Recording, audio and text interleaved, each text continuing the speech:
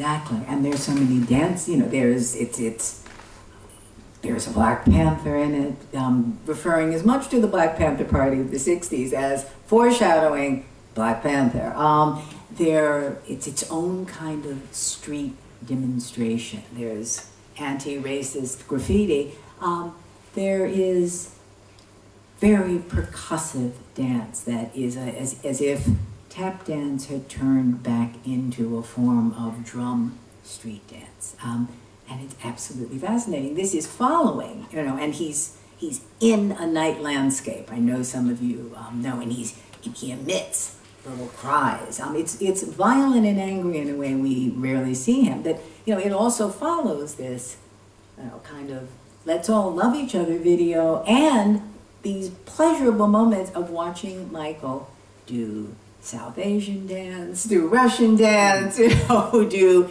every kind of um, of dance. So it, it's this sense of multiple personalities um, that was also fascinating. And also, you know, here's my here's good, lovable. I love everybody, Michael, and here is, um, you know, angry, um, angry, political, um, aggressive, mm. Michael. Here are all the codes. Um, when you think about Michael Jackson as an activist as well, you know, there's a yeah.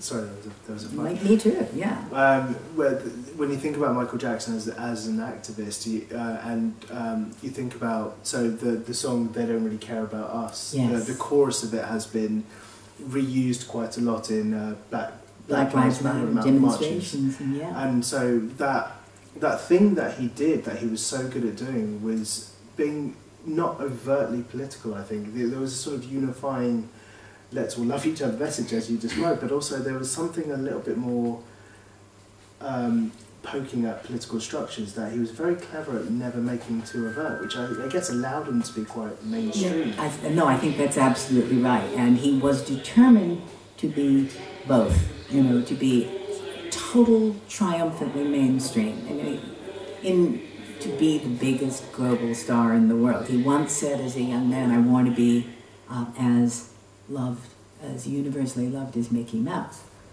Um, and yet, you know, it's true, he wanted to be controversial. He wanted to, um, you know, integrate the, um, the anger um, and the politics of um, everything from you know, hip hop to um, post Black Power, civil rights. And he coded it always, but you know, so much visual imagery as well as dance imagery and these music beats. Um, yeah.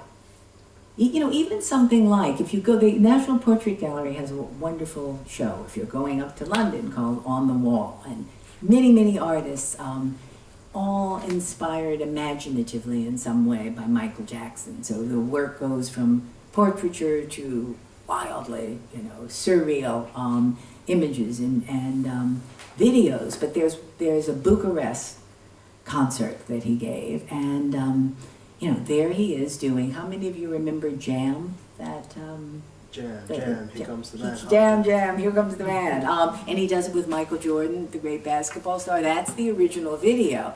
In, um, you know, in this concert, it becomes, you know, this kind of, you're thinking Bucharest and this, this dictator. They've just, you know, um, been coming out of the shadow of, you know, and it becomes this strange, aggressive, um, potent um, war cry, you know, whereas it was playtime with Michael Jordan,